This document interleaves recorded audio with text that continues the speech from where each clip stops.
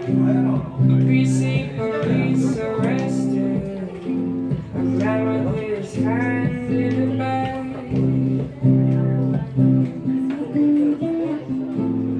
How's that for first impression?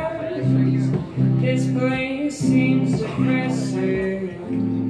It's a Californian bungalow in a cul-de-sac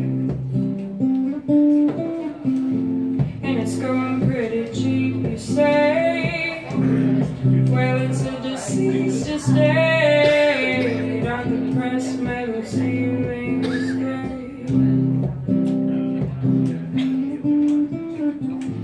Then I noticed the handwriting in the shower A collection of those canisters for coffee, tea, and flour And a photo of a young man in a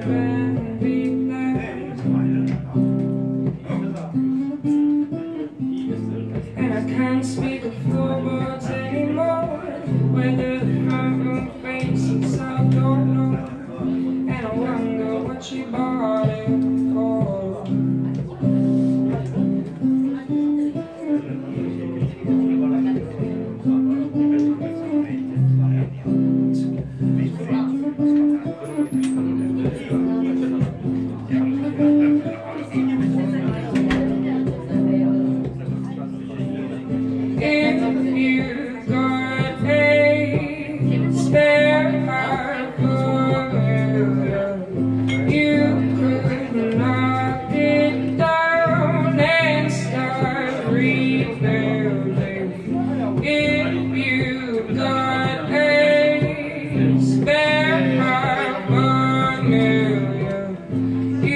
you could knock it down and start.